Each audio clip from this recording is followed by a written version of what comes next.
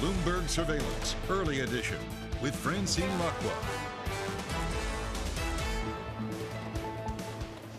Well, good morning, everyone, and welcome to Bloomberg Surveillance Early Edition. I'm Francine Lacqua here in London, and here's what's coming up on today's program. Global bond yields jump after more hawkish commentary from Fed officials. Investors now waiting on euro area inflation due in one hour from now.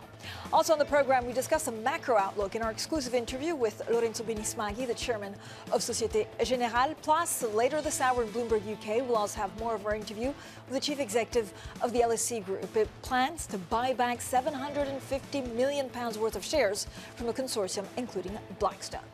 Now, first thing is first, so let's check on the markets. We're seeing a little bit of pressure across the board after that hawkish commentary from Fed officials. Now, this is also on the back of rising assumptions that actually demand in China will grow significantly, fueling further inflation because of the reopening. So, stock markets worldwide extending some of the losses today. That was really started yesterday. I'm looking at the U.S. 10 year Treasury bonds topping 4% for the first time since November. Again, a sign that the Fed's warning of higher for longer interest rates finally sinking in. S&P futures down five tenths of eight percent, and then the German two-year yield at three two one eight. There was also a fantastic interview that Christine Lagarde, president of the ECB, uh, just gave to a Spanish television where she talks about the need, first of all, reiterating that we're going to get a 50 basis point hike in March, but also the need possibly to raise rates further. This is a picture across the board. Look, for the moment, the FTSE's unchanged, but we are seeing pressure on the DAX and the FTSE maybe around four tenths of 8% lower.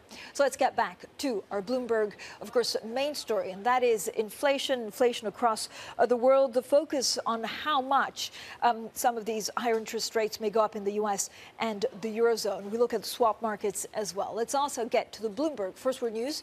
Here's Leanne Gearens. Hi, Leanne. Hi, Francine. The Greek Prime Minister says human error probably caused the country's worst rail crash in decades. The government is investigating the head on collision between a passenger train and a freight service, which killed at least 43 people and left dozens more injured. The Greek Transport Minister has resigned while a station master has been arrested. Now, the UK is to make the case for greater cooperation with the European Union on financial services. On a visit to Berlin, Trade Minister Andrew Griffith will meet German banking chiefs and executives to discuss a framework for the two sides to work together. Further post Brexit cooperation on financial services had been on hold due to the Northern Ireland trade dispute. Bridgewater Associates is embarking on a major overhaul five months after founder Ray Dalio stepped down. The world's largest hedge fund firm is capping the size of its flagship fund, ploughing more money into artificial artificial intelligence and machine learning and expanding in Asia. The company's CEO says Bridgewater must, quote, evolve or die. SpaceX has launched a four person crew to the International Space Station, part of the company's ongoing contract with NASA. The astronauts are riding inside the Crew Dragon spacecraft lifted off on top of a Falcon 9 rocket just after midnight local time from the Kennedy Space Center in Florida. Global News, powered by more than 2,700 journalists and analysts in over 120 countries. I'm Leanne Gearens, and this is Bloomberg Francine. Thank you so much, Leanne. Now, ECB President Christine Lagarde says rate hikes may need to continue beyond a planned half-point move in two weeks' time. Now, it comes as Fed officials open the door to higher rates to curb high U.S. inflation. That's showing few signs of abating. Now, a bit of a curiosity. I think there's also Christine Lagarde still live on Spanish TV, where they're analyzing her signature on some of the euro notes. Now, for more on all of this, we will not analyze her signature right now. Bailey Wakefield, multi-asset portfolio manager at Aviva Investor Global Services. Thank you for joining us. Bailey, when you look at the inflation trajectory for the for the Eurozone and, and, the European Central Bank, how tricky is it going to be for them to raise rates significantly without killing off the economy?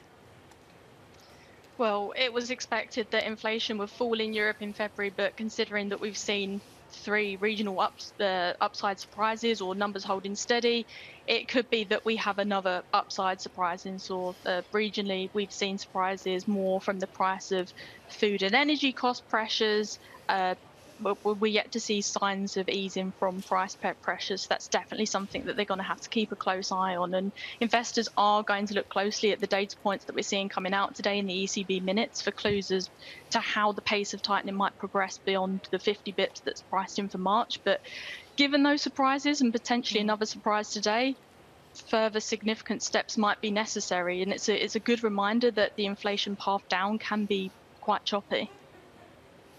So, uh, what does it mean for if, if you look at some of the individual stocks or certainly industries? There's been so many job layoffs. Does it reflect the deteriorating conditions in Europe, or is it just cost cutting to make sure that they can give back to shareholder returns? I think it, it's a bit of both. I mean, you're going to have some cost cutting measures. I think investors were very much aware that cost cutting measures were going to have to be in the picture here. And with some of the results, we are seeing some volatility in terms of some of the returns that were given back to shareholders as well. So, for example, in the, the basic resources sector, we have seen some differences in, in dividends, which should have been somewhat expected given that they're targeted towards the payout policies that, that, that, the companies are aligned to. But still, because of the, the change in price of commodities, which of course feed into the to, to inflation, we are seeing different payouts there. So that's something that investors are keeping a close eye on. Um, Bailey, every week we have an MLIV question that we ask all of our you know, markets guests. Do you expect, and this is the one for this week, do you expect actively managed or passively mutual funds to outperform this year? Uh, I definitely side on active. I think these environments are perfect for active funds to take advantage of some of the underlying themes that we're seeing in, in markets at the moment we are definitely seeing some choppiness in markets depending on what the uh, the, the, the, data points we're seeing released at every ever uh, any given kind of point in time or any given day. Mm-hmm. But being able to take active positions means that you can take advantage of those underlying themes in, uh, that, that, that, that are cropping up in markets at the moment.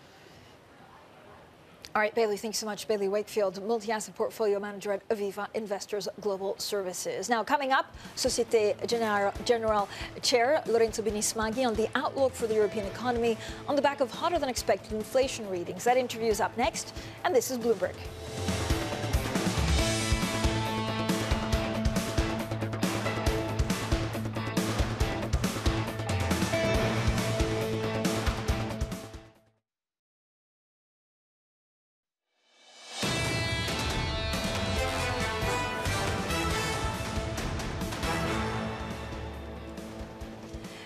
Economics, finance, politics. This is Bloomberg Surveillance Early Edition. I'm Francine Lacqua here in London.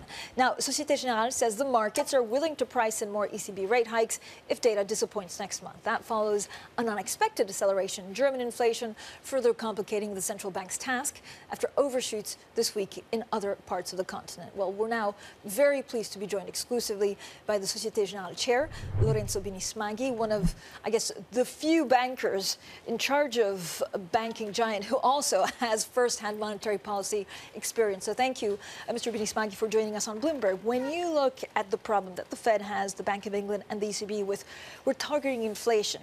Do they have to really crush economies to make sure that they hit their targets? Well, they're not crushing the economy because the problem arises from the fact that the economy is quite resilient. It, we haven't seen a, a recession uh, in spite of forecasts of recessions. Right. So the economy is stronger than expected, which means that inflation is higher than expected. And probably it means that interest rates have to be higher for longer. And there's no free lunch. I mean, in order to bring inflation down, history, there's no historical experience of inflation coming down without some, some cost to be paid. You have to be careful to calibrate well your, your instruments. But in the end, you can't give up. Uh, uh, right now. But, but, but why have we not seen an uglier economy right now? So is there a lag time of the monetary policy that was put in place in 2022, or has the model and structure of our economies fundamentally changed? Well, first, certainly monetary policy operates with lags, uh, one and a half to two years, so we have to see the impact.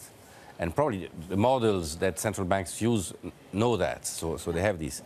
But our economies have been more resilient. If I think about Europe, with the, the increase in uh, interest rates, uh, the increase in oil, energy prices, uh, companies, households have used uh, their uh, savings. So we have been more resilient. How long will it last? That's, uh, yeah. that's to see. I think the key issue going forward is the combination of the various policies. Monetary policy is going to be tighter. Yeah. Fiscal policy probably is going to be tighter because we have to come down from the deficits. And the other issue that nobody really talks is uh, prudential super supervisory policy on banks. And this is also getting tighter because supervisors are getting concerned about uh, banks lending too much and so forth. So the combination of all this may lead to a, policy mix which is very restrictive. Yeah. And so we may reach 2% maybe earlier than expected, but the impact on the economy may be quite negative. So what kind of an economy? So you think we could reach 2% inflation target earlier, but this wouldn't be, would, it be as close as 2024 in Europe? And, and what, a full recession for most countries, or how do you see that panning out? Well, that's difficult, but I think it's uh, difficult to forecast. But I think it's going to be difficult to get to 2% within 18 to 24 months uh, without a, a major slowdown in the economy. And that's, that's part of the adjustment process. On the other hand, if we give up, and let's remember, I mean, if you go back to history, Paul Volcker, which was a big inflation killer, he, he got it wrong the first time. He, he, he started to cut rates too soon. Then he had to increase it uh, again, increase rates again to up to 20%, the Fed fund, rate in, in 1980. And this really crashed the economy. So uh, we can't miss uh, uh, if we don't do it wrong. If, you, if we give up too early, then the price will be much higher. Wh- When do you see peak rates actually in Europe? And again, I, I know it's a difficult question, which, uh, but it, does it have to be in September? So do you have to just hike aggressively and then wait and see? Is that the, the better option, the better way to No, look at it? My impression is once the economy slows down, it's going to be very difficult for central banks to continue increase rates. Uh, they have to say that they will do it. They have to be to talk very toughly, uh, to, to be hawkish. But once you see strong signs of recession with unemployment going up, it's going to be more difficult. So I think they, this is why they are trying to, to catch up rapidly. Uh, so in the spring, uh, until June, I think they will continue to raise rates. But uh, after that, I think they will, they will rather pause. Uh, What are your clients telling you? So when you look at the first couple of months of this year, are they worried about inflationary pressures? You know, how's lending going? Well, actually, uh, there are no signs of major problems. I mean, our clients in general, and it's not a good, uh, it's not a good uh, uh, uh, sample because we tend to have the good clients of, you know, it's the rest of the economy, which maybe is less supported by the financial system, who gets into trouble, uh, that have problems. But our clients actually are doing relatively well. They have restructured. They are more cautious, of course, but they are not concerned about the future. The problem is the rest of the economy, which has to, to still do the restructuring. And, and once the consumption will start to decline, because consumers will have to adapt to higher energy prices and, and will not have the, uh, the savings accumulated from the past, at that point, we will see a, a sharper slowdown. But does that, is that accompanied also with the employment, the, you know, a lot of unemployment, which we haven't seen for the moment? We have a very yeah, tight labor yeah. market. That's a surprise. I mean, the economy is doing, have been doing relatively well, been quite resilient, especially in Europe. We didn't expect that. On the other hand, uh, this shows that uh, bringing down inflation is going to be easy. Uh, and we haven't had inflation for 15 years, so nobody really knows uh, how, how far you need to, uh, to put pressure uh, uh, on the economy to bring inflation down. Uh, rising interest rates is good for banks. You should be making a lot of money on the back of it. Do you feel like Societe Generale can really reap the full rewards, or is it held back by, I guess, French rules? Well, I mean, the French market is not easy. Uh, at, the, at, at least in the in the first year, at the beginning of the rate increase, uh, given that we have fixed rates on the on the lending side, we take the we have the opportunity, of course, of uh, uh, of, of uh, uh, passing on to the clients uh, uh, much more slowly than in other uh, parts of the world, uh, in, in countries like Spain or or, or Northern Europe. Uh, but uh, so we take the, we keep the risk, we keep the interest rate risk, which you know banks are expected to manage it better than, than clients. So in fact, these these uh, these credits are uh, sounder, have a lower credit risk. So we have uh, so so. Uh, we, we we manage ourselves the interest rate risk, but it is sounder from the solidity of the, uh, from the point of view of the solidity of the economy. Which is a good thing? Or, is, or Yes, it it's a good thing could because you have to- to- You have to look at the long term. Yeah. Uh, in the short term, they take the benefit, but in the Yeah. long term, we have less risks, Yeah. and we can absorb it. And then when will rates will come down, we will continue to have uh, uh, benefits for a longer period of, of time. All right, so Mr. Bini Smaghi, Lorenzo Bini Smaghi Sok, Jen, Chairman, stays with us. We'll talk a lot more about the banking world and, of course, possibly banking consolidation. I feel like I ask Lorenzo every time he comes on whether there'll be cross-border M&A. We'll have plenty more with Lorenzo Bini Smaghi shortly. This is Bloomberg.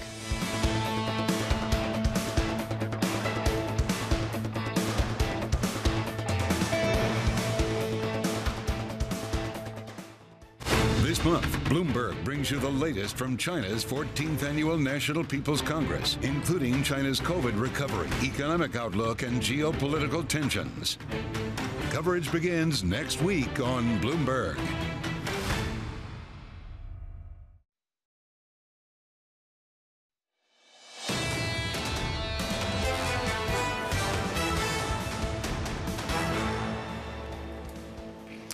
Economics, finance, politics. This is Bloomberg Surveillance Early Edition. I'm Francine Lacqua here in London. Now, Societe Generale Chair Lorenzo Bini Smaghi is still with us. Uh, Lorenzo, thank you so much for sticking around. We talked about inflation, the right path forward. Talk to me a bit about Societe Generale. So, you have an incoming chief executive. Are you expecting the strategy to change, or what will this bank become in the next three to four years? Well, uh, we'll, we'll wait the new CEO and we'll discuss uh, with him. Clearly, there are some. Uh, um, some issues which are clear. We have a restructuring of the French retail, um, the merger between the two, which is going to be completed.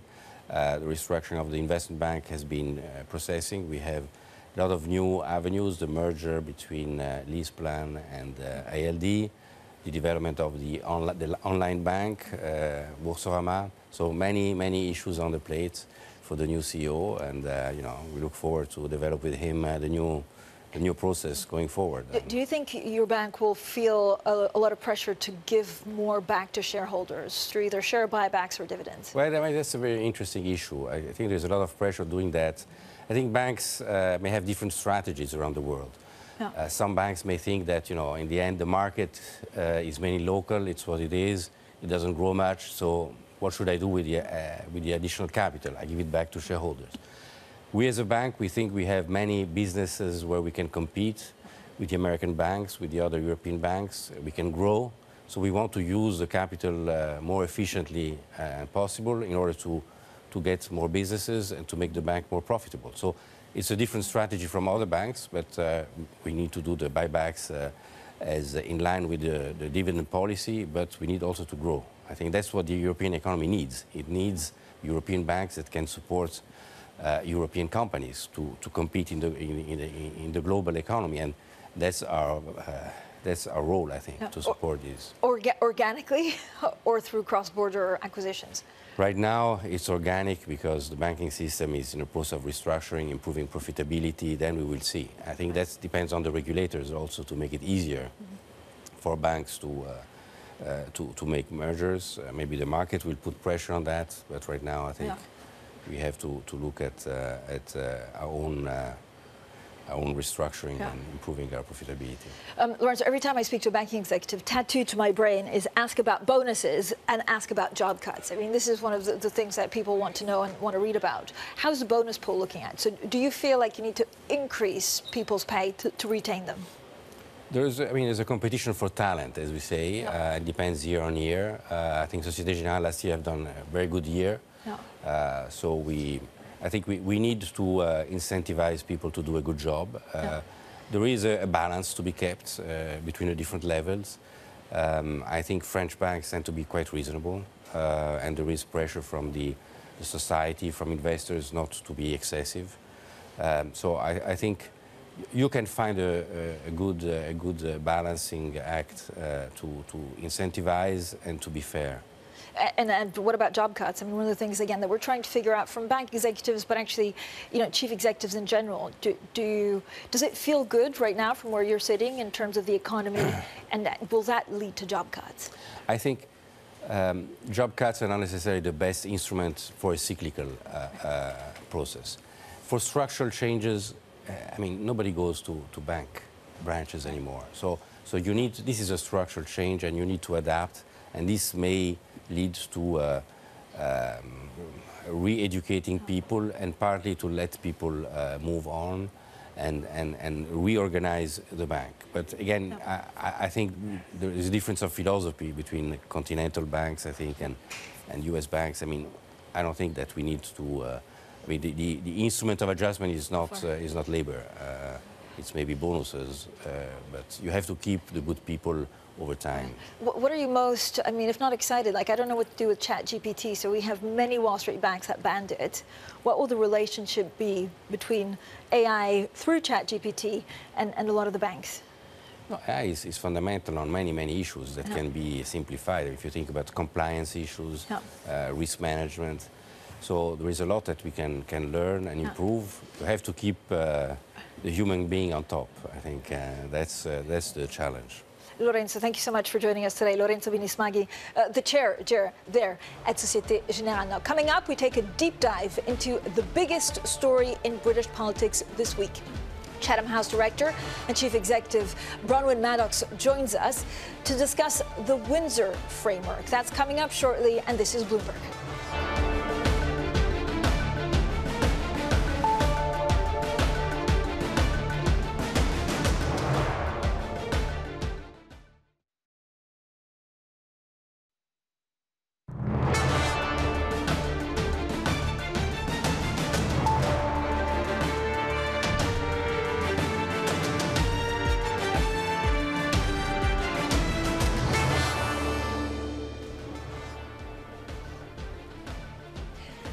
Morning, everyone, and welcome to Bloomberg UK, a news show with a special focus on the biggest challenges facing the British government, the economy, financial services, and markets. I'm Francine Lacqua here in London.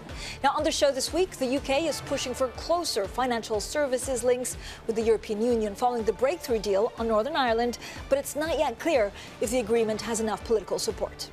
Also on the program, could the Brexit deal put UK assets on the long road to recovery? We'll discuss what that means for investors and more of our interview with the chief executive of the LSE Group. It plans to buy back 750 million pounds worth of shares from a consortium including Blackstone. Now, the British Prime Minister Rishi Sunak dubbed it as a decisive breakthrough as he and his EU counterpart, Ursula von der Leyen, unveiled a post Brexit deal on Northern Ireland trade agreements. Well, Leanne Gerrans is here to walk us through the deal and what's ahead. Hi, Leanne.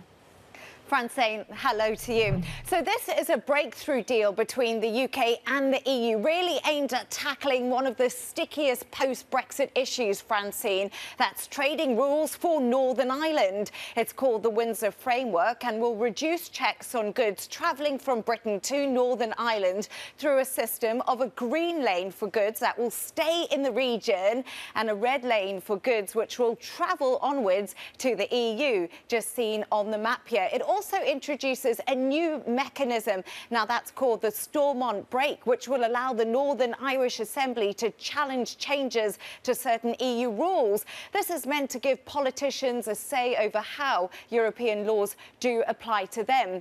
European Commission President Ursula von der Leyen described the deal as extraordinary and said it would ensure a long-lasting solution for all the parties involved. Meanwhile, Prime Minister Rishi Sunak says the agreement would protect Northern Northern Ireland's place in the Union and deliver smooth flowing trade.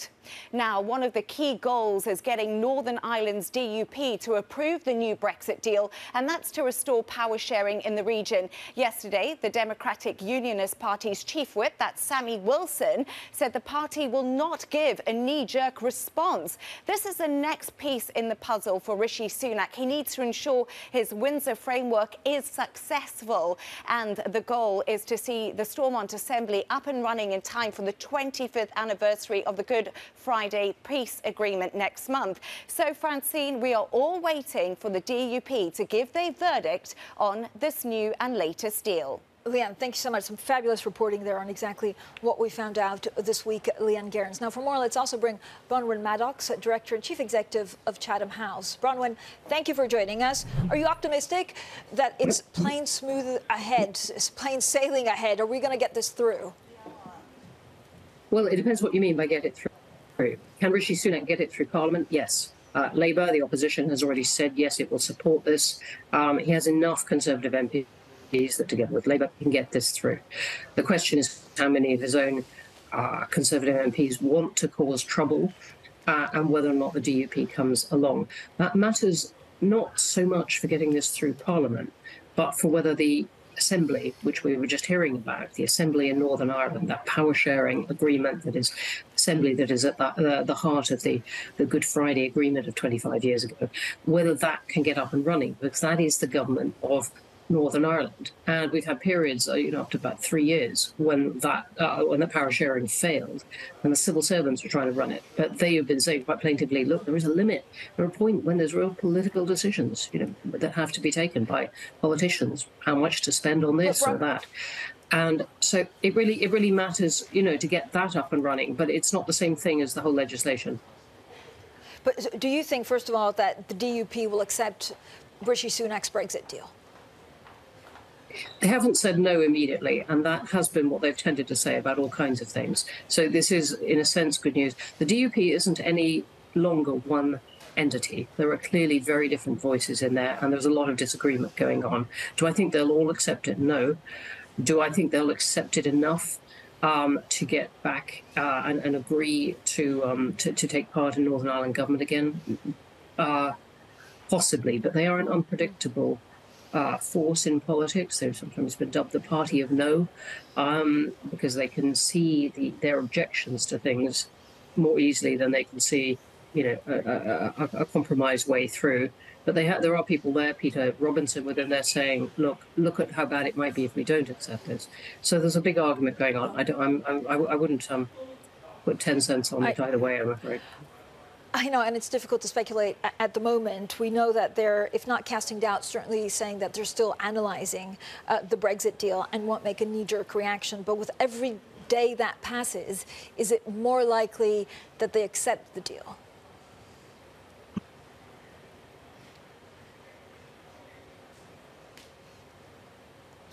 Bronwyn, I don't know if you can still hear me or if you're still there. The, the question was, they I'm, have I'm, said... I'm still there. It, it, it it cut out. Go on. Yeah, the, the main unionist party in Northern Ireland said they will not make a knee jerk decision on whether to accept it. With yeah. each day that passes, is it more likely that they accept it or is it wishful thinking?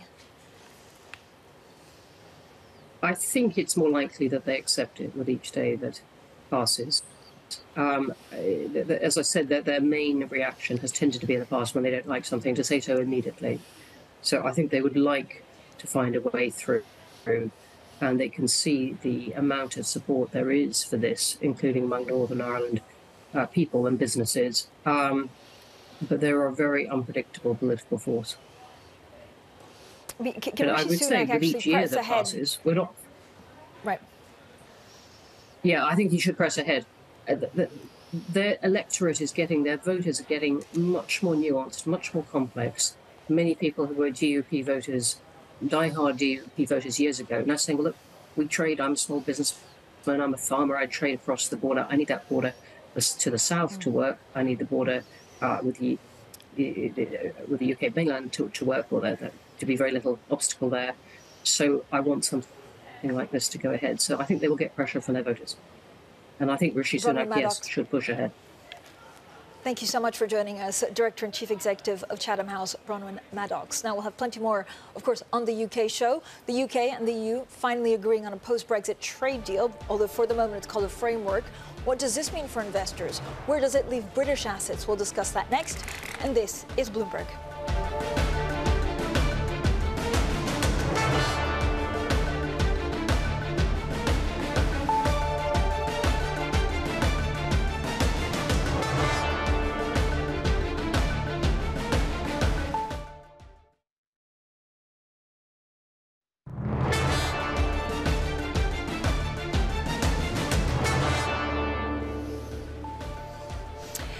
Economics, finance, politics. This is Bloomberg UK. I'm Francine Lacqua here in London. Now, we're just getting some breaking news out of the BOE. This is the publication of decision maker panel survey.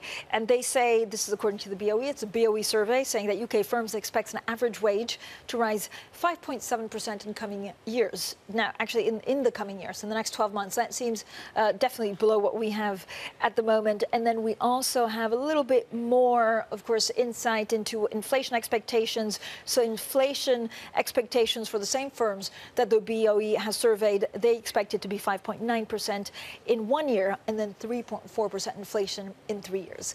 Now, the leaders of the UK and the EU both hailed last week's post-Brexit trade deal as a chance to reset trade relations between the two sides. But for investors in British assets, the repair work is only just beginning. Well, joining us now is Bloomberg's John Stepek, who writes our Money Distilled newsletter. It's fantastic, so I urge everyone to go and have a look. And then also Lukia Gyftopoulou, who covers the asset management beat. So thank you both for joining us. John, I love really reading your newsletter on house prices, on what this means for UK assets. First of all, how long does it take for, I guess, the, the encouraging news about better ties with Europe to filter through UK assets? I mean, that's a good question. Um, the things we, we don't know. Hard question. It's a very hard question. exactly. If, if, I, if I knew the answer to that, I'd be on a private island somewhere. Um, no, but I think, I think the thing to understand is that uh, UK assets have been shunned by global investors yep. for the best part of seven years now. Um, and while you can argue about the economic impact of Brexit, I think you'd have to be in denial not to admit that Brexit is, you know, have, has kind of created this geopolitical discount on UK assets. Now, the main thing about the deal this week is that regardless of whether it goes through or not, we've got the, uh, you know, we've got Rishi Sunak and Ursula talking to each other like adults. Um, so the UK and the EU are no longer basically trying to you know, stab each other in the back. Um, and that kind of sign of reconciliation should hopefully remove some of the geopolitical discount that we've had hanging over us since 2016. Yeah. I mean, I have a lot of follow-up questions to that. But first, Lukia, where do you see the, the, best value? Or actually, where do you see the most unloved UK assets that could suddenly be getting a lot of interest? I mean, UK equities have been shunned for the past seven years. UK equity funds have seen billions and billions of outflows since the Brexit referendum. And there is, the sentiment has started to turn, but it's not certain it's because of the Brexit deal. It's mainly because they're cheap. Some people say, okay, they have a five to seven year upside. So some investors have started to go back into them. And this is what? This is like, is it asset managers? Is, is the UK market still seen as the kind of the, you know, the beacon of, of success? It depends on who you speak to, but some of the very big asset managers like Schroders, for example, and Fidelity International say they now like UK equities a bit more. Fidelity yeah. International said they're overweight. Then they, they see a longer term upside. Schroder CIO called it in a statement to us a safe harbour for now. So I think it's there's a long way to go, but something might be changing. Yeah, and, and, politically, I guess you know, you know, some of the questions that we had is we've had three prime ministers in 12 months. There's still a lot of question marks on whether Boris Johnson comes back. We have a lot of question marks of what Labour would do with some kind of deal. So, what are the questions that you're hearing from from managers or investors? Well, I, I think the, the the thing is that Rishi Sunak is seen as a safe pair of hands. Yeah. Um, but we don't know how long he stays. Well, we don't know how long he stays, but the thing is, if Keir takes over from uh, Rishi come the next election. So the next UK election's got to be held before January yep. 2025. Yep. Chances are it'll be late 2024. Now, if you think about what could happen at that point, either the Conservatives stay under Rishi Sunak, most likely, or Labour kind of wins under Keir Starmer. Now, the thing is, Keir Starmer has gone a long way to rehabilitating the Labour Party following the, kind of, the Corbyn regime. Um, and I think that the other thing to kind of point out is that Keir Starmer does not want Brexit to be a problem under his watch. Yeah. So if he does end up running the next government, he doesn't D want to have to continue dealing with this. So I, I, think that most asset managers would see that we're now in a point where you can assume that the, uh, the, the future path is going to be less chaotic than it has been. I mean, i am self-crowning you like, you know, political analyst on the program. I don't know how many people, I get asked quite a lot, like, what happens to Boris Johnson? Does a Boris Johnson comeback become less likely because of the Rishi Sunak Brexit deal?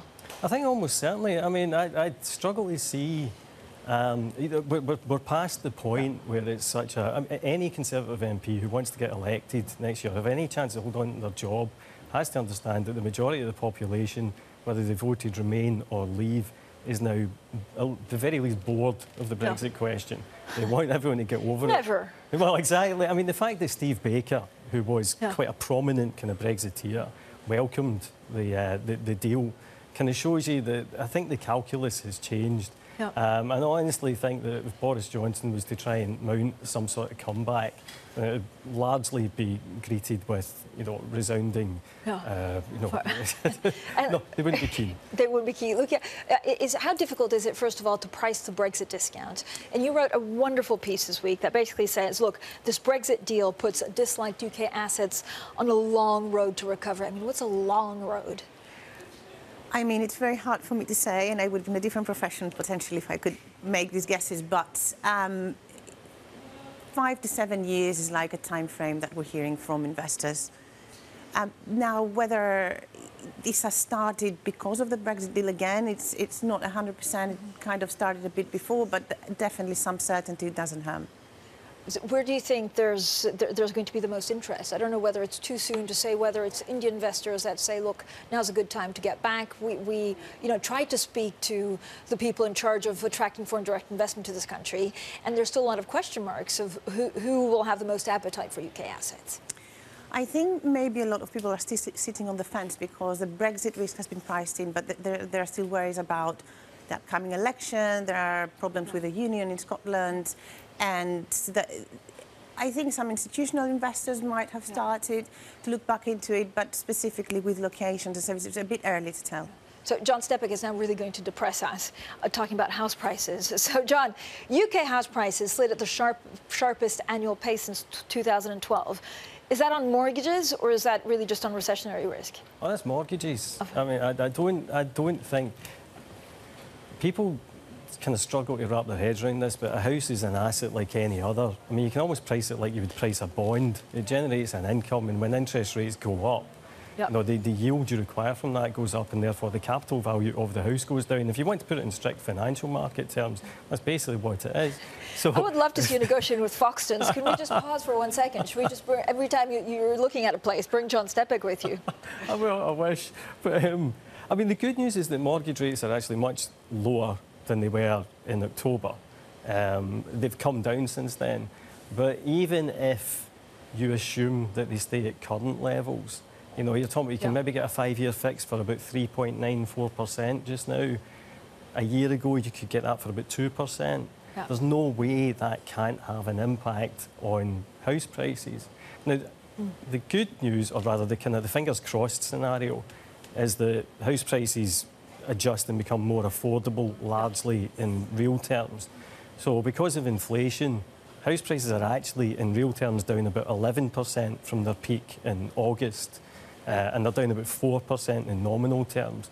What you ideally want is for about half of it to be real terms and half of it to be nominal, because a 20% fall in nominal terms would only take us back to pre-pandemic levels. Right. So at that point, you're probably talking about there's a very small number of people who would be suffering from negative equity. It wouldn't be terribly catastrophic from an economic point of view. But if it falls by, say, kind of 30% in real terms, that means that first-time buyers... You know, can get on the ladder. Um, you kind of diffuse some of the, the political toxicity of the housing market. And actually, that, that would be, a, good outcome, a good outcome, yeah. John, thank you so much. We have an industry secret. I think John Stepek's DMs are open on Twitter, so if you're buying a house, just DM with, with mortgage advice. You're welcome, John. John Stepek and Lukia Gyftopoulou. Now, coming up, chip designer John, uh, ARM decides against selling shares in London. We'll bring you our interview with the London Stock Exchange Group Chief Executive Officer. He's David Schwimmer. That's coming up next, and this is Bloomberg.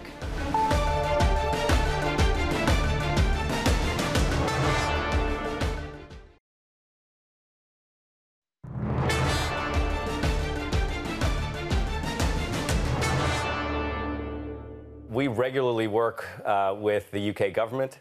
Uh, I think it's a good level of cooperation. We work closely with stakeholders in this market. We work closely with uh, governments and regulators in other markets as well, uh, whether that's in France, in the US, uh, in Asia. So uh, it's, it's a core part of what we do.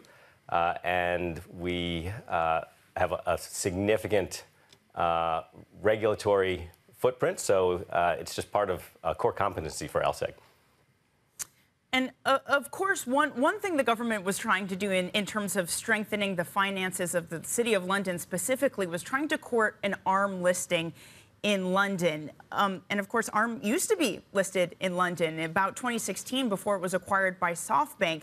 But we learned today that SoftBank is going to be going for a U.S. listing. How big of a blow is this, David, to have the homegrown tech company not come back home? So ARM is a great British company. Uh, London continues to be uh, a fantastic listing venue and the most international listing venue. I'm not going to comment on any uh, specific or the latest uh, speculation on where it's going to list. Uh, but I think there's a great conversation actually going on in the UK markets at this point. Uh, and this is not about it's not about listing rules. Uh, it's not about listing regulation. Uh, there's an opportunity to implement some of the reforms that the government is looking at, implement some of the reforms that the Capital Markets Industry Task Force is working on that will continue to make London uh, that much more of a competitive and attractive listing destination and financial Wait, center. So, so David, but, uh, David, quickly then, do you think that are you still holding out hope that ARM might list in London? As I said, I'm not going to speculate on. This has been an ongoing saga for a couple of years. I'm not going to speculate on the latest.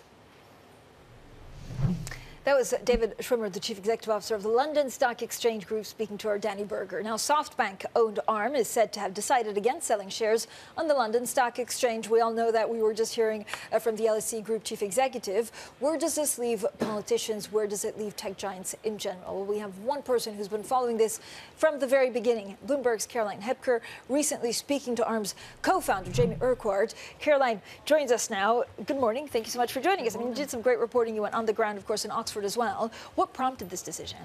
Well, this is the issue. Perhaps frustration. Bloomberg's Ruth David actually broke the story around the issue that there won't be a listing in London, we don't think, according to Bloomberg sources. Um, is it frustration? Three prime ministers in the space of a year. We know that the government has been lobbying ARM to list in the UK. Um, and yet there has been political uncertainty. There has been, you know, a dormant IPO market effectively in London. So the backdrop has not been good. So I was speaking to one of the co-founders of ARM, actually somebody who took the business public back in 1998. Yeah. He then became the COO. Um, he's deeply involved in technology, and electronics, and he was actually really pretty scathing about how the government has uh, handled matters and the backdrop for innovative businesses in Britain. There's been very little continuity, there's been very little strategy, and even now we're waiting for the government to, to come out with a, a semiconductor strategy. It doesn't take that much to, to start looking forward and thinking about what you're going to do, but you've got to do it. I think the government are just either unwilling to grasp the nettle or maybe they've got way too many things to do and aren't thinking about it. So how much of this, Carolina, is a political situation? How much of it is, is just actually just NASDAQ offers better valuations? It's a bigger market. It has more investors. Yeah, absolutely. Masayoshi Son um, has always been very focused on the US listing and has made that very clear that the investor base, the, the pool of money and yeah. markets in the US is very attractive. I think that it would have been a big coup for Rishi Sunak and the government had they managed to get the listing here in London. But now actually a secondary listing looks in great doubt. Yeah, Caroline, thank you so much for the great reporting, Caroline. Hepker there. Now, be sure, of course, to subscribe also to Bloomberg's In the City podcast that I host along David Merritt on Apple Podcast, Spotify, or wherever you get your podcasts. We have a new art going with, of course, the podcast, and today's episode is about football. This is Bloomberg.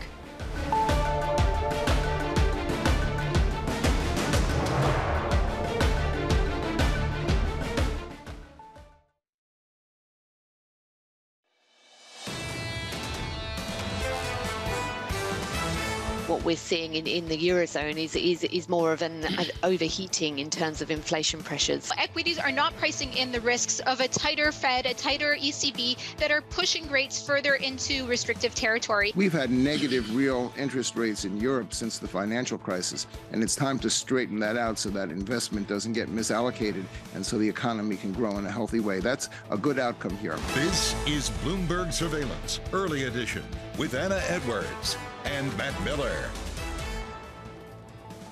It is 10 a.m. in London, 5 a.m. in New York, and 6 p.m. in Hong Kong. Our top stories today. The latest inflation numbers for the euro area are just crossing the data, likely to be the crucial factor in determining what the ECB does next on interest rates.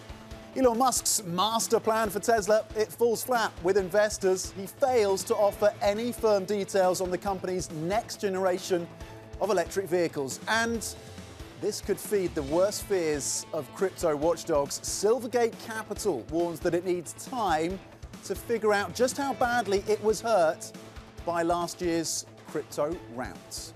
Welcome to Bloomberg Surveillance Early Edition. I'm Tom McKenzie in London. Matt Miller, of course, in New York. Anna Edwards is off. We're going to check the markets, of course, on the inflation data. But Matt, you're going to start with what's been happening in the U.S. Yeah, quick look at futures because we are down um, after a down day on the S&P and the cash trade yesterday. The Dow actually eked out a gain, but the Dow and the Nasdaq were down. S&P futures now off about two thirds of 1%, as you can see here. And the U.S. 10 year yield remains above 4%. Right now, it's up five basis points to 4 spot 0418. So it continues to rise and it's very likely that the European inflation data you're about to uh, talk to us about is really adding upward pressure on these yields. The U.S. dollar index right now about a quarter percent at 1251.79.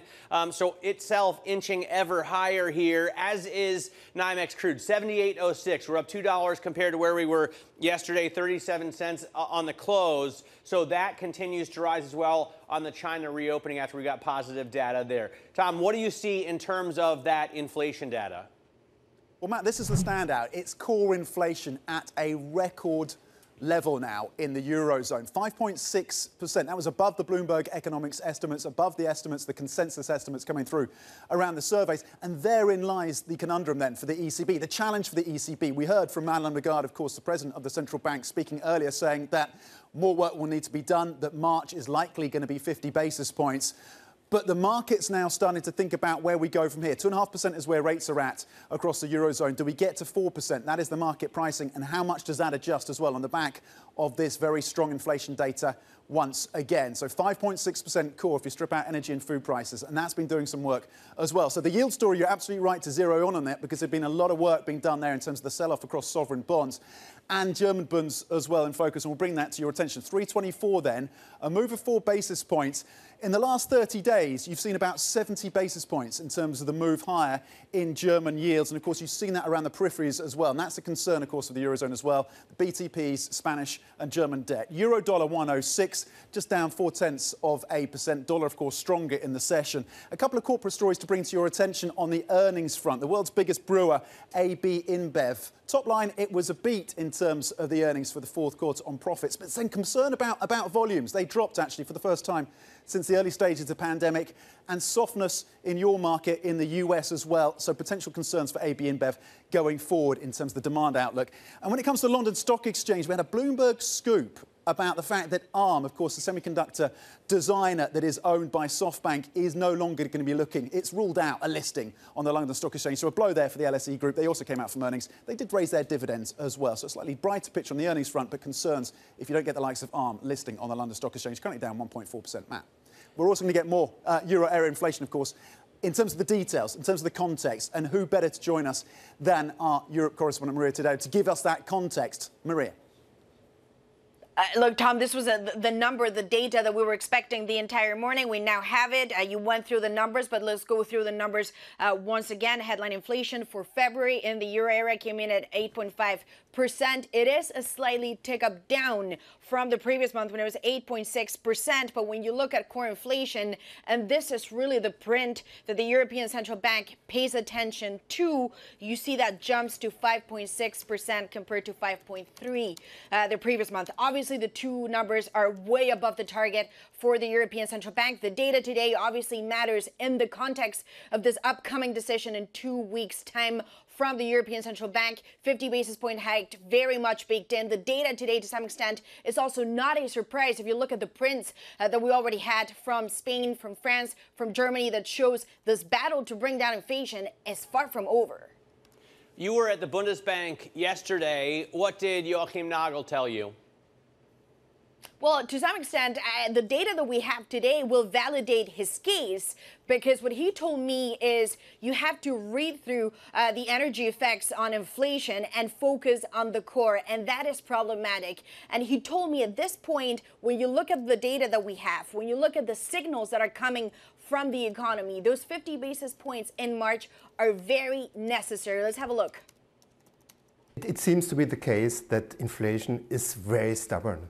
And that is bringing me to the point that monetary policy has to be more stubborn. It's not fair to speculate what is the sequencing beyond March. But it looks like for the moment that 50 basis points for the March meeting, very necessary. And that was obviously the head of the Bundesbank, uh, Mr. Nagel, speaking to us uh, yesterday. Now, he says it's not fair to speculate beyond March, but Matt, you know the speculation will be now entirely on May, given the data that we have, are we going to see now back to back 50 basis points, March going into May too? That's essentially where the debate is at. Yeah, absolutely. There are already bets on uh, more than 4%, um, pricing in of more than 4% expectations for the terminal rate in Europe. People are betting on 6% here in the U.S. So we really see um, this inflation data putting upward pressure on those expectations. Maria Tadeo talking to us um, out of where, where is she? Where are you? Are you in Frankfurt? Brussels. Brussels. Okay. Brussels. Back in Brussels, uh, the European capital. I have Thanks. to sleep in my bed at one point, Matt. That's that, that's good. I'm glad you finally got a chance to get home after globetrotting. Uh, she was in Poland, then she was in uh, Ukraine, then she was in Frankfurt, and now she's back in Brussels. So uh, good that she's back home. Let's get to what the Fed, uh, Tom, is talking about. Yeah, of course, the Fed now, officials we've been hearing from Novo Note saying interest rates will need to increase further, of course, and stay elevated into next year as inflation, of course, shows very little signs of abating. Uh, president, of course, Neel Kashkari, Fed president, spoke yesterday. Take a listen. I'm open minded at this point about whether it's 25 or 50 basis points. To me, much what's much more important than whether it's 25 or 50 is what we signal in what's called the dot plot. Okay, that was, of course, the Minneapolis Fed president there speaking in terms of the signaling around the dot plot. For more analysis, let's bring in Bloomberg's Valerie Tytel uh, for some context. Valerie, Kashkari then mentioning that if his terminal rate expectation is moving high, did he give any details on whether he thinks that that terminal rate and his view, his dot plot, is going to be moving higher? Look, he, he really stopped short of signaling that his dot is definitely moving higher, but he put a lot of emphasis on it. Remember, we get the up, updated dot plot at their next meeting in March. Kashkari is one of the most hawkish members. He's at 5.4 terminal rate. How much higher is that going to shift in the dot plot that we get in March? That is the big question. But look, he stopped short of saying it definitively. He said instead we should not overreact to one month of data. But he did call the recent data concerning. And let me show you something that was concerning in the ISM manufacturing print yesterday, Tom. It was the prices paid subindex. Many see this as a leading indicator for goods inflation. It unexpectedly jumped, possibly hinting that goods disinflation will slow in the next CPI print.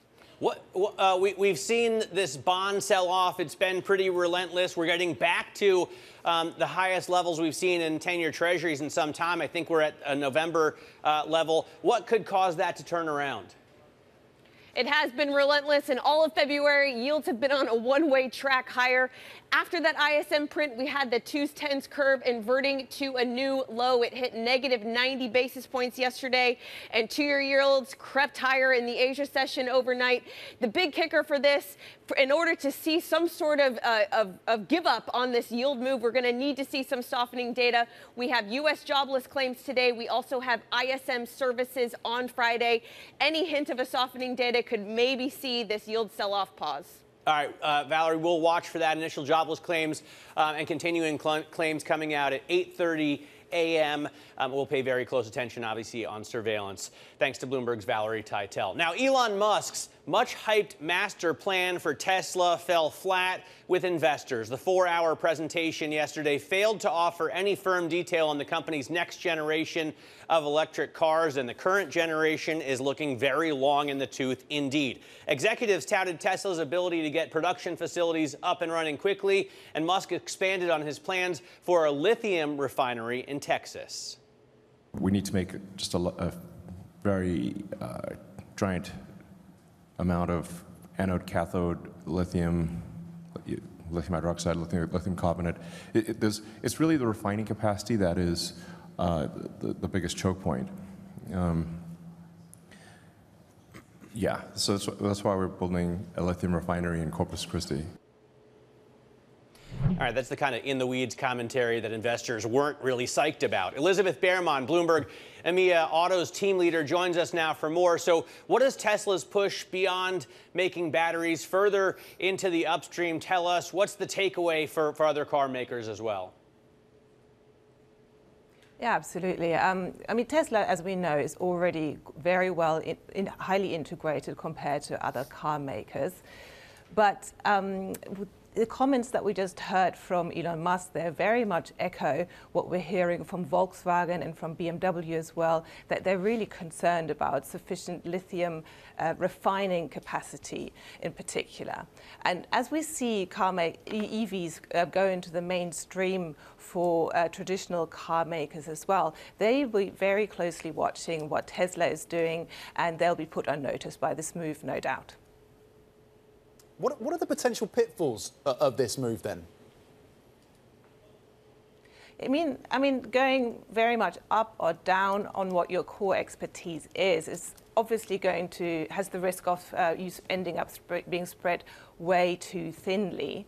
Um, then again, Tesla is quite experienced in this, but their core expertise remains in car making. Uh, over the past couple of years, 90% um, of their revenue and profit, all of that came from selling cars.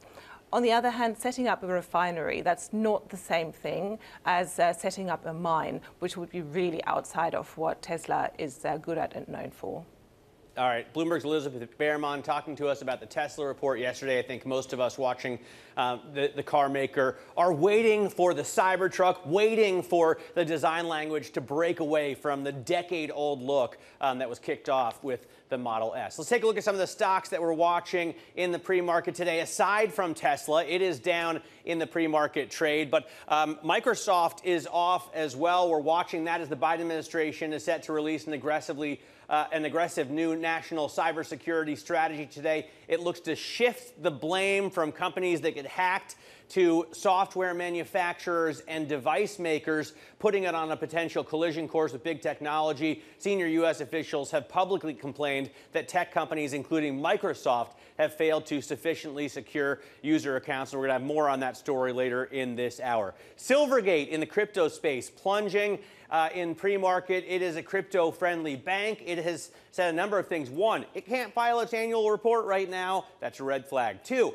indicated it's being investigated by the Justice Department. Bloomberg has reported that already. And three, it said its accountant has asked for proof that it can continue as an ongoing concern, meaning will it be able to stay in business or collapse? Those worries are what's driving it down 30% in pre-market trading. Coinbase CEO Brian Armstrong was on with us yesterday, reiterated that the largest U.S. crypto exchange's staking product should not be classified as a security amid a broad regulatory crackdown by the SEC. Gary Gensler disagrees. The stock is already down 83% so far in 2023, and it's falling another three and a third percent today. And then on the upside, CRM, Salesforce it gave an upbeat forecast for the coming year, and it plans to step up its stock buybacks. Operating margin is going to be 27% for the fiscal year. That trounced an average analyst estimate of 22.4%, and it increased its share repurchase program to $20 billion.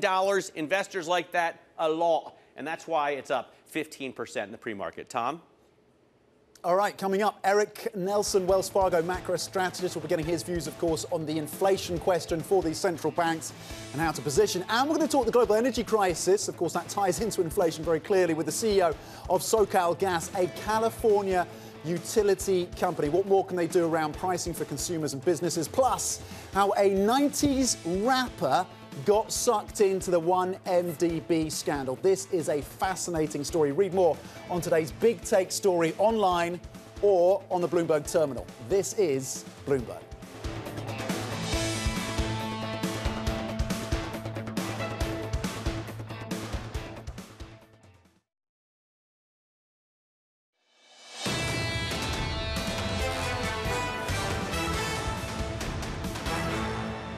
Welcome back to Bloomberg Surveillance, the early edition. We are simulcast on both radio and television. If you are listening on radio, I've got a chart. Um, this is one of those rare instances where uh, lacking the visuals is going to help you better understand the point. Basically, European investment grade bond issuance is at the highest level this year than it has been in the last five years at this point. And actually, it has been um, for many points this year. There are a, a number of different lines uh, making this a, a, bit of a spider chart. That's a new term um, that I've just been introduced uh, to by Priscilla Azevedo Rocha. She is a Bloomberg credit reporter. She joins us live out of London to talk about, you know, the point essentially, Priscilla, is that we're still at a high in terms of issuance at the end of February, beginning of March. Uh, why is that as we see these rates uh, rising ever higher? Hi, Matt. Good morning. So it's exactly that, right? So we had historical high rate, uh, high issuance this year. So companies are selling bonds like no, never before, and this is only a sign of anxiety. It's anxiety by companies and treasurers. The rates are going to be higher for longer, so they need to get in and they need to sell their bonds before it's too late. And today's inflation print is just one more proof to that, right? It's going to become more expensive to the point that it can get even prohibitively expensive to do so. So, so the data today kind of justifies that anxiety. Where is that anxiety most acute? Which sectors, which companies are at the forefront of issuance? At the forefront of issuance right now is investment grade companies, right? Because they still have the ratings, they still have market access, and investors are still buying into them. We've seen earlier this week bonds from like McDonald's, from BASF in Germany. So those are national champion names that people like to buy and they know them well. But on the other side of this equation, we have junk companies, right? Uh, access for those have become more complex over this year as rates shoot higher. On the IG part of that equation then, is there demand holding up? Are we at peak issuance at this point? And are the buyers going to still be out there? So that's a good question, Tom, because the thing is, uh, we're still seeing a lot of supply in the market, but investors are turning sour on mm. like in credit, right? Uh, we came into 2023 thinking, oh, this is going to be the year of the bond. Uh, January was great. Uh, it, it, was approved to that, and returns were stellar. Then came into February, things turned sour, and investors were like, mm, we don't like this anymore. So returns in this February was like the worst ever for February in history. Wow, wow. Well, that says something, doesn't it? Mm. Fantastic mm. insights. Thank you. Really important story to bring to our viewers' attention. Bloomberg's Priscilla Azevedo Rocha, thank you. And for more market analysis, of course, uh, from Priscilla and the rest of the team, check out MLIV Go on your terminal. This is Bloomberg.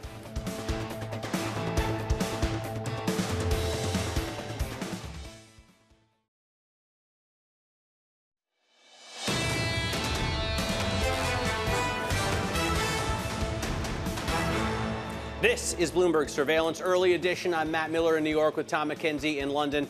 Anna Edwards is off today. Now, keeping you up to date with the news from around the world, here's the first word. The European Union is set to propose a plan to provide Ukraine with much needed ammunition. It calls for the immediate transfer of ammo, especially artillery rounds, from existing stocks. The proposal is also envisioning a ramp up uh, of Europe's capacity to meet current and future needs. In China, a sign that President Xi Jinping's campaign to tighten the Communist Party's grip on the financial system has a long way to go. Chinese bankers are being told to change their mindsets, clean up what's called their hedonistic lifestyles, and quit copying Western ways.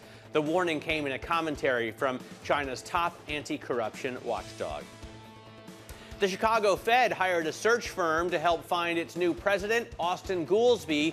One of the diversified search group's executives is none other than Goolsbee's wife, Robin. The Fed says it was aware of Robin Goolsbee's position at the firm and that she had no involvement in the search.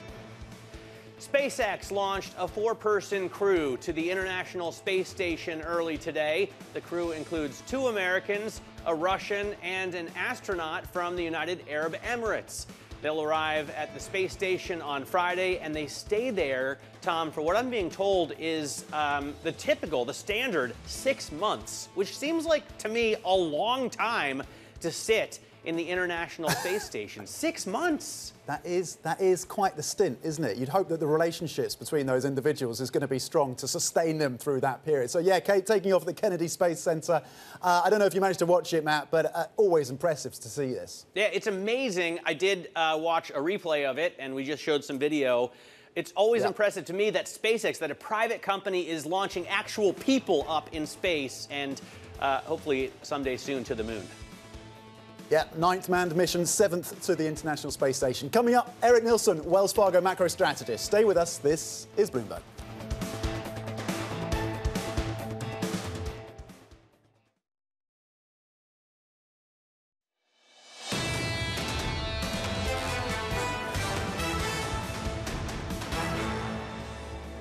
This is Bloomberg's Surveillance Early Edition, and here's what you need to know. Euro area inflation slowed by less than anticipated, while underlying price pressures surged to a new record. The data likely to be the crucial factor in determining what the ECB does next on interest rates. Elon Musk's master plan for Tesla falls flat with investors. He fails to offer any firm details on the company's next generation of electric vehicles. And this could feed the worst fears of crypto watchdogs. Silvergate Capital warns that it needs time to figure out just how badly it was hurt by last year's crypto rout. I'm Tom McKenzie in London. Matt Miller, of course, in New York. Anna Edwards is off today. And Matt, beyond the corporate stories around Tesla, the focus, of course, on that hotter than expected, at least core inflation out of the Eurozone. Yeah, absolutely. I mean, that inflation number, a record high in the core, is uh, putting upward pressure on rates in Europe, and it's really traveling around the world. So let's see what's going on here in U.S. markets first. S&P futures down about half a percent right now. This after the drop in the cash trade yesterday. Um, so we're down. I think the cash close was somewhere around 39.50, down well under 4,000, and we could fall further this morning. The U.S. 10-year yield climbs to the highest level we've seen this year, up over 4% yesterday. It's up another four basis points right now at 403, and this is really the highest level we've seen since November. We're getting back to that um, 2022 record of 424. I think 425 was the record high. Oh, we touched on 10 year yields. We may revisit that. The Bloomberg US dollar index climbing today. It was down yesterday, but up again to 1251. Now we're again 100 points away from the high that we saw last year. But this really puts pressure on risk assets as well. The stronger dollar um, puts pressure on stocks, for one thing, around the world, and that's not going to be a good thing for the open this morning. And then NYMEX crude finally going a little bit higher. I've been waiting after the good data that we had out of China overnight yesterday and the reopening talk that we've had over the past few weeks and months to really drive um, commodities and crude. It hasn't yet, but maybe it's starting. We're looking at WTI at 78.20 a barrel.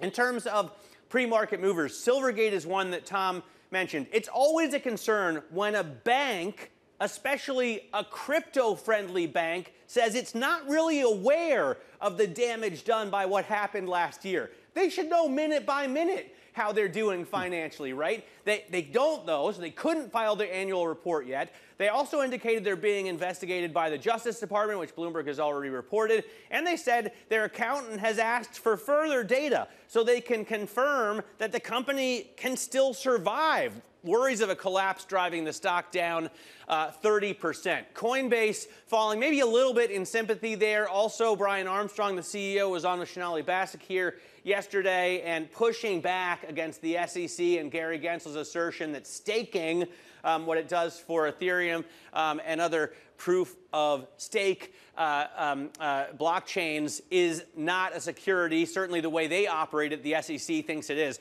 Plug Power is down after reporting net revenue for the fourth quarter that missed the average analyst estimate. Um, uh, so you can see uh, some EV companies are getting hit, like Tesla, but also Plug net uh, revenue was up 36% at Plug compared to the same quarter a year ago to $221 million. But the problem is, est- analyst estimates were for 264 million, so a big miss there. And a beat from Salesforce, at least in terms of the forecast for the coming year. It was very upbeat, and stock buybacks don't hurt. Operating margins at Salesforce are going to be 27% in this fiscal year. That trounces the average analyst estimate of 22.4%. And Salesforce says it's going to buy back $20 billion worth of shares. Investors like it. It's up more than 15% in the pre market. Tom, what do you see in Europe? Yeah, Matt, at least the earnings story slightly overshadowed, at least here in Europe for now, as we look at this inflation data. Central banks back in terms of the front of the agenda for many of these investors. And yes, we had that core inflation, a record uh, for, of course, uh, the European or the Eurozone. So the adjustment there, 50 basis points, as Maria was saying, is essentially baked in uh, for March, for the, month, uh, for the month of March from the ECB. The question is, does that happen again? Do you get another 50 basis points, of course, in May? So European equities are lower, and that is a factor, certainly. There hasn't been a huge move in terms of sovereign debt because, of course, we have seen a run up in yields. And, of course, the context, and I'll just bring in focus the two year, the front end of the German debt market, 321 there. The context over the last 30 days or so, you've seen a run up about 75 basis points. Not a lot of change here. Not hugely surprising, of course, on the inflation front, given the surprises upside that we saw from the likes of Germany, France, and Italy. But nonetheless, we are continuing to watch what is happening in terms of sell off in the bond space. Euro dollar 106 hasn't been a lot of change in terms of the single currency over the last few days, just softer by four tenths of percent. A large part of that is going to be dollar strength, of course. And there's individual corporate stories to bring to your attention. The world's biggest brewer, AB InBev, fourth quarter profits actually came in a slight beat but the volumes dropped for the first time since the early stages of the pandemic. There's certainly concern about the demand in the key US market as well, whether or not they can continue to push through prices. Bloomberg Intelligence says it's going to be a challenging year for AB InBev. Of course, the inflation picture consequential for them. The London Stock Exchange, a Bloomberg scoop that ARM will not be listing on the London Stock Exchange. So a blow there for the political class of the UK, but also, of course, for the London Stock Exchange Group, currently down 1.8%. ARM, of course, owned by SoftBank. They're going to look to the US. Matt. All right, Tom, thanks very much for that. Let's talk now about the macro picture again with Erik Nelson. He's a Wells Fargo macro strategist and joins us after Erik. We got um, uh, record high core inflation for the Eurozone, continuing to get prints that are higher than um, economists in our say, survey at least have estimated. Um, is it a concern to you, and do you think that the ECB is going to go, have to go well above 4%? I'm not sure that the, the ECB is going to be able to necessarily get much above 4%. I think 50 uh, basis points is pretty much set for the next meeting. Could well see another 50 basis points. The question for me on the, looking at the currency reaction today, I think that's so interesting because for the last 15 years or so, strong inflation has tended to be very positive for a currency because it means a more hawkish central bank, higher nominal rates. What we're seeing today, though, is euro is not outperforming. And I think this could be the start of a regime shift where if you have de-anchored inflation and the central bank can't do a lot about it, that may not be so currency positive anymore. And I want to really watch this theme and this space going forward.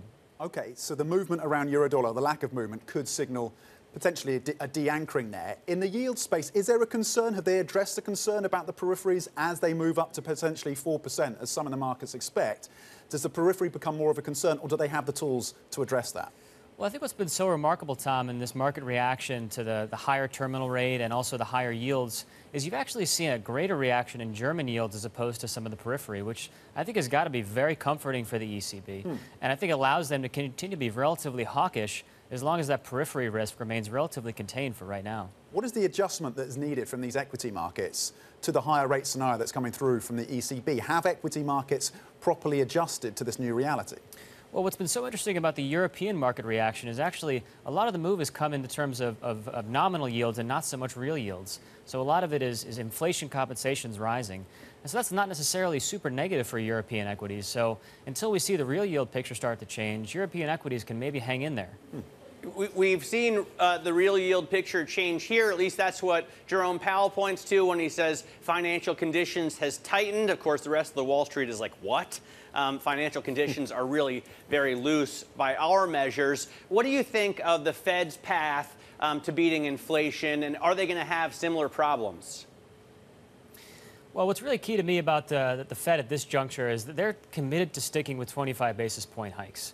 And that's a huge shift from last year when they were going in 50 to 75 basis point increments. So if you see a little bit of a reacceleration in activity here, even if you're still of the view that a recession's coming in the second half of the year, which we are, if the Fed is not going to lean against that acceleration in activity, that can, I think, help risk stay supported for the next little while here. Very different story in the second half if we see uh, the growth environment start to turn negative. But for right now, we can be a little more constructive in the, in the risk environment. The um the labor market seems to be really the linchpin here, Erik. Do, am I reading that right? I mean, if we start to get a real move up in unemployment, that's when the Fed starts to consider a pause or a pivot. I think that's absolutely right, Matt. And that's really where the recession tends to start. The reason we haven't seen a change in spending patterns, we haven't seen a real fall off in, in that very strong consumer sector in the U.S. is because the labor market's been rock solid. And until that changes, the Fed's going to continue to, to move in 25 basis point increments. You probably see more cuts priced out. Again, until we start to see that real weakening in whether it's jobless claims, payrolls, those really key labor market indicators that tend to be warning signs that a recession's either already here or, or looming very, very soon. Erik, 489 at the front end on the two year in the US. How much more work needs to be done at the front end, do you think? Well, I think the terminal rate, Tom, is pretty well priced. To me, is how much more of these cuts in the U.S. are priced out in the end of uh, this year and really the end, uh, the beginning of next year. That's where I think more upside can come in the front end. But as you get closer to five, especially with where the terminal rate's priced, you start to think about that's probably close to a top. Hmm. Do you think we get to 5%? I think, I think we do. We get there. Yeah. Okay. Erik Nelson, fantastic analysis. Thank you very much indeed of Wells Fargo. On the inflation data out of the Eurozone, of course, the prospects around further hikes from the Federal Reserve. The big risk is if they have to go back up to 50 basis points. Now, Chevron's CEO is optimistic about China's reopening. Part of our interview is next. Stay tuned. This is Bloomberg.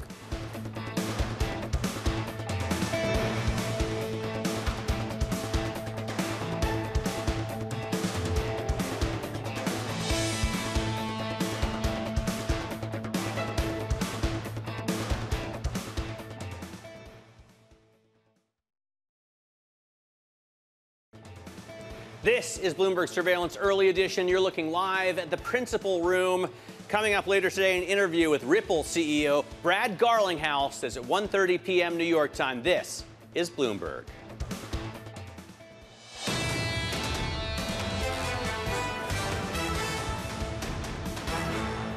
This is Bloomberg Surveillance Early Edition. I'm Matt Miller in New York with Tom McKenzie in London. Anna Edwards is off today. Now, Chevron CEO Mike Wirth says rising Chinese oil demand and dwindling spare production capacity around the world may push crude prices higher later this year. He spoke with Bloomberg's Alix Steel yesterday.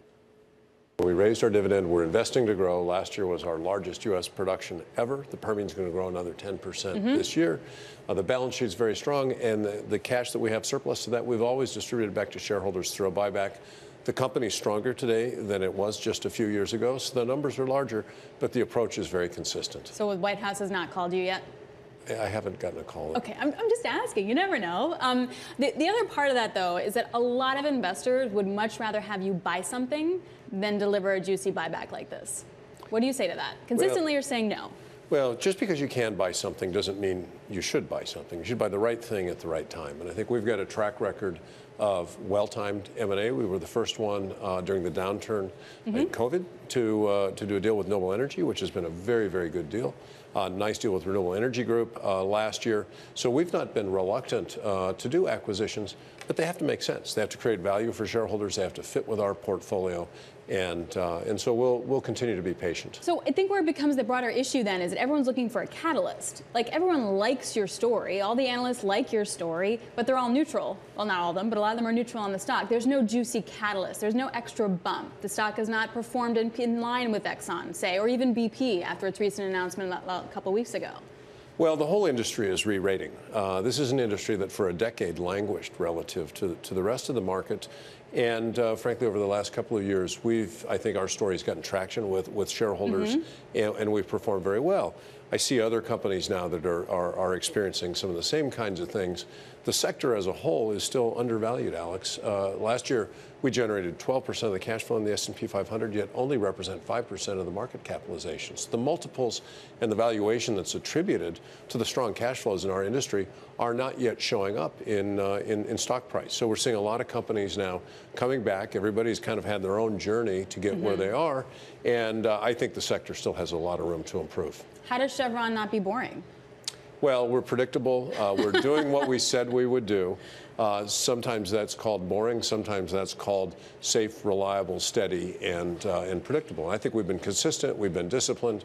We, we've said what we're going to do. We said we're going to deliver higher returns and lower carbon. Uh, we have seen in returns improve significantly. We laid out a plan to grow free cash flow 10% per year for the next five years, carbon intensity down 30%, and we're distributing cash to shareholders. So we're doing it all. Do you feel pressure to close the gap with Exxon stock, for example, when you've really outperformed them for so long? Well, it's a long it's a long cycle game. Mhm. Uh, Exxon's had their own journey. We've had our own journey. Uh, they're a great company. Uh, they're performing very well. They're a worthy rival. Uh, I enjoy uh, the, the, the partnership we have with them in some places and the competition we have with them elsewhere. And, uh, and I'm, I'm pleased to see them and others in the industry doing well. What is an environment where you would consider another acquisition? Is it depend on the oil price? Is it dependent on the Permian and peak Permian? Like what what does Mike look at to know whether or not it's time to pull a trigger? Well, we're constantly looking at companies, and, and really, you know, the first thing you look at is um, asset quality. Mhm. Uh, are these assets we would invest in? Would they make our portfolio stronger? Uh, we look at strategic fit. Do they fill any gaps that we might believe that we have?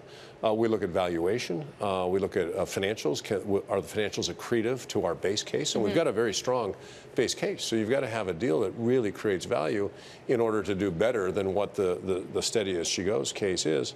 And then, of course, you, you want a company that wants to transact. We don't do hostile transactions. And Mhm. so you've got to have a counterparty that, that's ready. Uh, so there's a whole confluence of events that have to come together. We're always looking. Uh, sometimes we're actually talking. Uh, but, uh, you know, when we have something, we'll come and, and I'll talk to you. Chevron CEO Mike Wirth speaking with Bloomberg's Alix Steel yesterday and saying that he expects crude prices to face upward pressure due to the reopening. This is something we expect have been expecting, Tom, for a long time, right? It's just not clear, it seems, from the market reaction um, whether investors believe that crude is going to go much higher. Otherwise, why wouldn't they buy it now? Well, this was a conversation we were having with Jeff Currie of Goldman Sachs yesterday in the London studio, and he's saying, look, the demand coming through from China will offset any slowdown that we're seeing in the US. But he says pivotal for investors will be that moment when the Fed either pauses or cuts. He says that is when the money will flow in. Yeah, well, uh, I think everyone is and has been waiting for that moment for like a Yeah. year now. If you could call that moment, I believe you would have it made, or at least you wouldn't have lost money, as much money as you did last year. Coming up, we're going to speak with the CEO of energy pipeline company Enbridge, Greg Ebel. That's at 10:30 a.m. New York time, 3:30 p.m. in London. This is Bloomberg.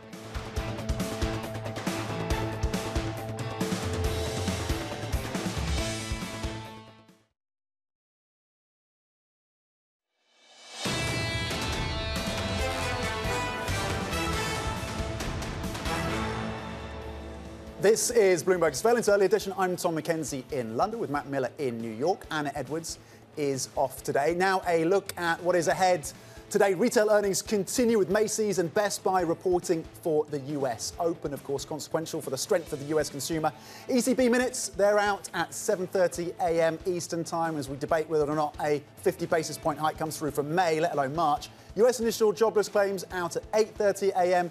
and at 9:45 a.m. Washington Bureau Chief Peggy Collins will be speaking with US Secretary of State Gina Raimondo. Matt. All right. Uh, we have, speaking of um, the U.S. administration, the Biden administration, um, it is on a potential collision course with big tech companies. Of course, it has been on a collision course with big tech companies, and so was the last administration. But uh, today, the Biden administration is coming out with an aggressive new cybersecurity strategy. The plan seeks to shift the blame from companies that get hacked, if you were blaming them, to software manufacturers and device makers. Joining us now to discuss is Bloomberg Tech reporter Agatha Cantrill. Aggie, um, what could this strategy mean for big tech, especially for Microsoft? Yes, so essentially a crucial part of this is shifting that onus from the users and from the companies that use these platforms and use this software to the companies that develop it. This is something that the Biden administration has been sounding the alarm about in the past, especially when it comes to Microsoft, questioning the extent to which Microsoft has actually been protecting its users, uh, its end users, when it comes um, to its cybersecurity measures. And so a big part of this is essentially what that means for legislation that can be developed developed to make sure that the responsibility lies with those big tech platforms. And what we're seeing is essentially this is yet another attempt on the part of the Biden administration to rein in these tech platforms. Um, but there is a hope that they could potentially be able to develop legislation that they would be able to be push, they would be able to push through Congress. Um, but as of yet, that hasn't been successful for other legislation of this kind.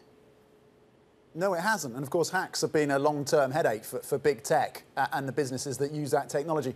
Why is the stricter approach coming now, Aggie? There's a part of it, Tom, which is essentially about this being uh, there being a lot of bipartisan appetite for strengthening cybersecurity. And something I noticed recently when I was uh, looking at the tech companies that were at the Munich Security Conference a couple of weeks ago, uh, cybersecurity has also become an inherent part of national security for a lot of countries. And cybersecurity, when it comes to Microsoft, when it comes to Google, all of these companies were present at the Munich Security Conference and indicating the huge role that cybersecurity plays. And we see this also uh, being rolled out in Ukraine, where the cybersecurity and securing the uh, the cyber infrastructure of Ukraine has been a critical part of their war effort against the Russians. And so this is also not just saying that this is a company concern, but also it's a national security concern as more and more uh, critical data goes online. Okay, Aggie, thanks very much for that reporting. Bloomberg's Agatha Cantrill reporting on um, the big push against big tech. Uh, mentioning the Munich Security Conference, which, by the way, was my first big gig with, with Agatha uh, when she started for Bloomberg. A great conference um, to go to and a lot going on uh, down there. We interviewed Miles Davis, actually, at that conference. Not the musician, obviously, Tom. I was about to say I had I had the musician. That would have been that that, that would have been particularly cool, man. Back back, I was, back I'd from the grave. Back, yeah. So, back, from one conference to another, I was at the Mobile World Congress this week. It's the biggest mobile and telecoms event. They were talking about cybersecurity, and a big push is around satellite communication networks. So the Europeans trying to emulate, wanting to emulate what Musk has done with Starlink, precisely because they think it will be more secure. Yeah, I imagine that every region, um, especially those that aren't allied, need to develop their own competencies in all of these tech areas. You know, that's why um, a lot of people are so worried when we report on crypto that the U.S. is mm-hmm. so far behind China. They've already got their own CBDC rolled out, and we're still struggling with regulation. And it's part of the rationale. It's part of Chinese policymakers' rationale for reining in the tech sector is concerns about data security. You can think of Didi as an example. When I was in China, I remember hearing officials saying, we're concerned that data is going to be accessible to the security services uh, in the US. So it all ties in, doesn't it, Matt? It, it's yeah, it's an ongoing conversation. We're going to continue to be talking about this for sure. That's it for early edition, but the OG surveillance is ahead with Lisa, John, and Tom. We'll hear from Dan Ives of Wedbush, among others, after Tesla. This is Bloomberg.